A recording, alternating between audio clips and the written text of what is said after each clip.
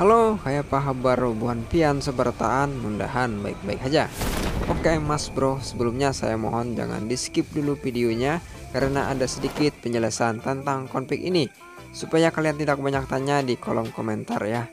Nah, uh, di video kali ini ada konflik terbaru lagi mas bro yaitu konflik hack the Mac plus magic ballet. Konflik ini khusus saya racik untuk HP kalian dengan tujuan untuk meringankan dan melancarkan game di HP kalian tanpa lag, tanpa frame mas bro ya.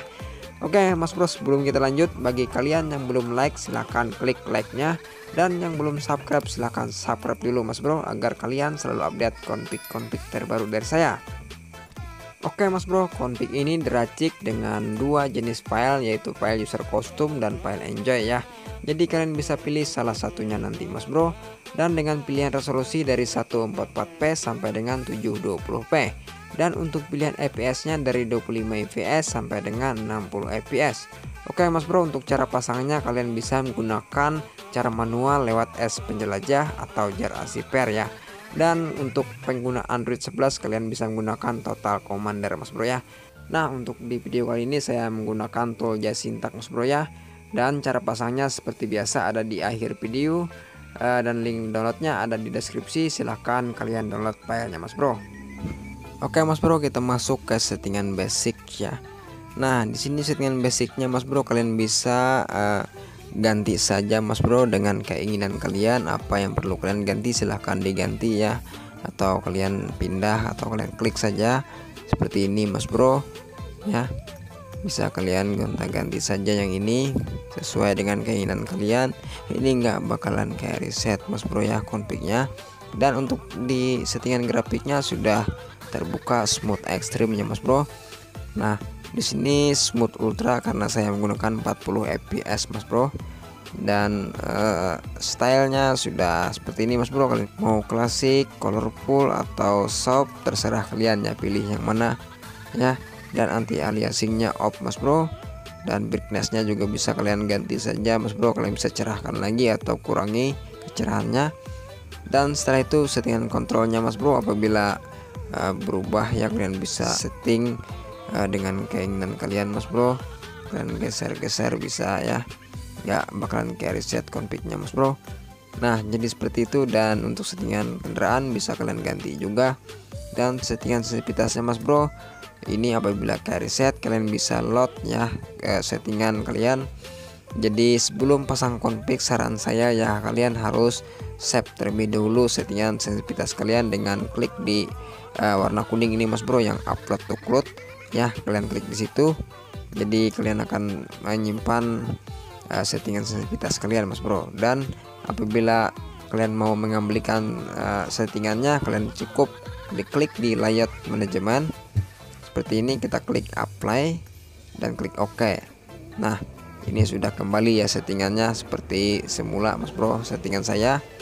Oke nah setelah itu di settingan audio dan settingan scope juga bisa kalian ganti saja mas bro. Dan efek hitnya juga bisa kalian ganti saja mas bro. Dan efek damage-nya juga kalian bisa ganti. Nah jadi begitu mas bro. Oke sampai di sini dulu untuk penjelasan tentang config ini Langsung saja kita lihat cuplikan gameplaynya. Let's go.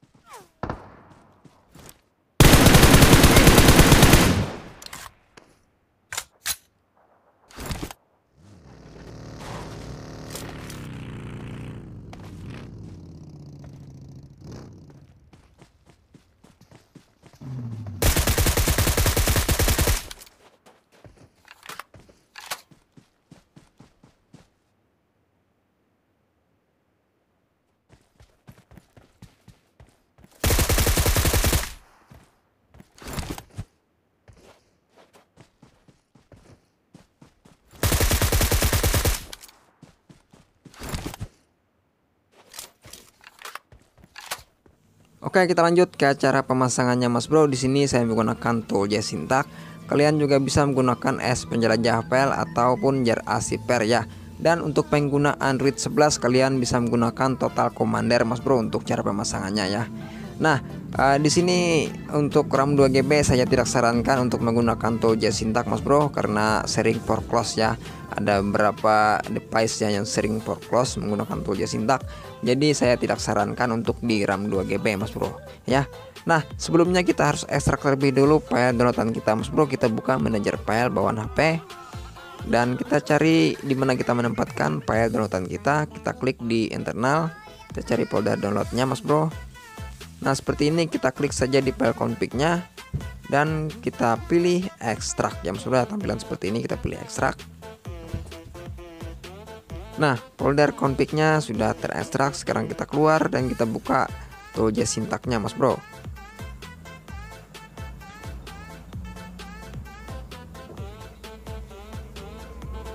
Nah tampilan seperti ini kita klik edit config Nah, ini khusus untuk pengguna baru ya. Uh, yang baru pasang, yang baru install aplikasi Jasintak, kalian klik di installation Mas Bro. Ini khusus yang baru install ya. Kita klik di installation dan kita di kanan atas itu ada titik tiga kebalik Mas Bro, kita klik di situ. Nah, di situ ada global Korea dan Vietnam Mas Bro itu untuk versi PUBG Mobile-nya ya. Kalian menggunakan PUBG Mobile yang mana Mas Bro ya? Nah, karena di sini saya menggunakan PUBG Global, jadi saya pilih global dan kita blok Mas Bro, kita blok seperti ini untuk teks uh, dari user custom plus profile kita blok sampai ke bawah. Ya. Ini kita hapus nanti Mas Bro, kita blok dulu ya. Sampai ke bawah Mas Bro. Nah sampai ke bawah mas bro seperti ini. Di atas backup device profile seperti ini ya. Setelah itu kita klik hapus atau delete. Nah seperti itu dan kita geser ke atas. Nah seperti ini tampilannya mas bro. Kita sisakan backup device profile. Setelah itu kita klik save. Dan sudah tersimpan mas bro ya. Nah di situ lagi di bawah di kanan bawah mas bro di situ ada select raw data itu untuk memasang data ya dan di select config-nya untuk memasang config dan aktif save ya Mas Bro ya. Nah, kita klik di select raw data, kita pasang raw data ya Mas Bro. Kita cari folder downloadan kita yang sudah kita ekstrak tadi dan kita pilih saja config-nya. Di sini kita pilih raw data dan tampilan seperti ini kita klik select Mas Bro atau tanda centang. Nah, sudah sukses terpasang ya raw datanya. Sekarang kita select config untuk memasang aktif save Mas Bro. Nah, kita cari folder downloadan kita yang sudah kita ekstrak tadi. Kita pilih seperti ini dan kita pilih aktif save-nya Mas Bro. Nah, di sini ada empat pilihan FPS Mas Bro ya. Kalian bisa pilih saja dengan keinginan kalian. Di sini saya menggunakan 40 FPS Mas Bro dan kita klik saja di aktif save-nya ya. Nah, sudah terpasang dan kita select config lagi untuk memasang config ya. Kita cari folder downloadan kita dan kita klik saja di folder download, kita buka config-nya kita buka folder config dan di sini ada dua pilihan untuk file config yang baru saya upload di sini Mas Bro. Di sini ada file enjoy dan user custom ya. Kalian bisa pilih sesuai dengan keinginan kalian Mas Bro. Tidak bisa kalian pasang keduanya ya, ini harus kalian pasang salah satunya saja. Nah, di sini saya menggunakan file enjoy Mas Bro. Dan di sini ada beberapa pilihan resolusi Mas Bro. Kalian bisa sesuaikan dengan device kalian. Untuk RAM 2 GB bisa menggunakan 360p atau 144p Mas Bro ya. Nah, di sini saya menggunakan 540p dan klik saja seperti ini dan kita klik di file enjoy-nya Mas Bro. Nah, sudah terpasang. Uh, setelah itu kita klik uh, di kanan atas di uh, untuk versi ya Mas Bro di situ untuk versi global Korea dan Vietnam. Nah, itu untuk versi PUBG Mobile-nya Mas Bro ya. Oke, di sini karena saya menggunakan PUBG global jadi saya pilih global. Setelah itu kita klik run game mas bro maka akan terbuka PUBG mobilnya ya. Nah jadi seperti itu ini cukup satu kali saja kalian menyeting atau memasangnya mas bro. Setelah itu kalian tidak perlu di setting atau dipasang lagi mas bro ya dengan satu kali klik di jasintak seperti ini mas bro. Kita keluarkan saja dan kita buka tool jasintaknya seperti ini. Setelah itu kalian klik skip anim. Nah, maka akan terbuka PUBG Mobile-nya Mas Bro ya. Jadi setiap kali mau main PUBG Mobile kalian buka melalui tool Jasintak Mas Bro. Uh, jadi ini anti reset, anti banet Mas Bro ya. Nah, Oke untuk cara penghapusan atau cara pencopotan file config-nya kalian bisa buka tool Jasintak ya karena kita memasang lewat tool Jasintak jadi kita hapusnya lewat Jasintak juga Mas Bro tampilan seperti ini di kanan bawah di situ ada logo tong sampah Mas Bro kita klik Nah, di situ ada pilihan, ada yang raw data, OD pack, enjoy, game user setting ya.